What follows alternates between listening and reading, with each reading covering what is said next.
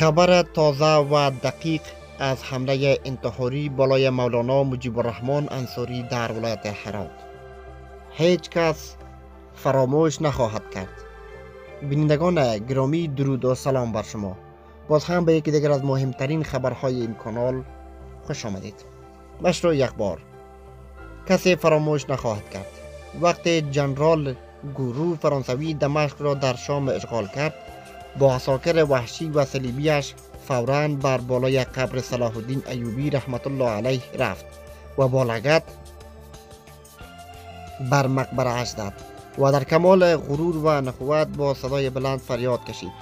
ای صلاح الدین برخیز که ما باز آمده ایم تو با ترسوها جنگیدی و قهرمان قلابی هستی. هنگامی که جنرال لیوتی فرانسوی مراکش در المغرب اسلامی را اشغال کرد بالای قبر یوسف بن تاشکین رحمت الله که یکی از فاتحان و سپه سالاران مسلمان بود رفت و با گذاشتن پای کثیفش روی آن همان جملات گرو را تکرار کرد. ما اینجاییم. ابن تاشکین برخیز. کسی از نسل تو را در مقابل خود نمی بینند زمانی که اندلس به دست صلیبی ها سقوط کرد فرمانده صلیبی ها الفونسو دستور داد بر قبر حاجب المنصور رحمت الله که یکی از مجاهدان و فرمانروایان مقتدر مسلمان آن کشور بود تا خیمهش را برپا کنند. خیمهش بر بالای قبر المنصور رحمت الله برپا شد و شب را با خانمش آنجا گذشتاند و فردا در حال آنجا را ترک کرد که بر روی قبر نوشته بود. مگر نبینند که امروز بر روی قبر بزرگترین فرمانروایشان نشستم و مملکت مسلمانان و اعراب را به تسخیر درآوردهاند و کسی از نسل او را اینجا نمی بینم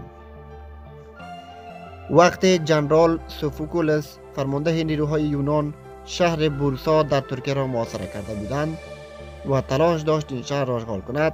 روز به قبر غازی عثمان ابن ارطغرل رحمت الله مؤسس خلافت عثمانی رفت و در حالی که پای کثیفش را روی مقبره او گذاشته بود فریاد برآورد. برخیز ای کسی که امامه بزرگ بر سر می بگردی بلند شو ای عثمان بزرگ. برخیز و حال نوادگانت را بنگر. ما دولت بزرگت را منحدم کردیم. برخیز تا به قتل برسانمد امروز نیز کسانی از دنبال روان و پیروان همان فکر صلیبی ها حراسگاه در طول یک سال بر بالای مقبره سالار آزادی و مجاهد کبیر احمد شای مسعود رقص و پایگوبی برگزار می کنند و با کمال نامردی و فرمایگی بر آن مجاهد رادمرد توهین و گستاخی می نمایند بی ادبان نابخرت باید بدانند که اگر تاریخ درباره همان صلیبی های گستاخ از خوبی روایت می کند پس حال اینان نیز خوب خواهد بود و اگر تاریخ از احوال آنان سگال بد دارد پس از اینان پند گیرند و بر قبر مرد مجاهد توهین و گستاخی و نامردی را روا ندارند. هر نوع ادبی و فرمایگی در مورد بزرگان مجاهد و مسلمان و خاصا قبر و جسد آنان محکوم و مردود است.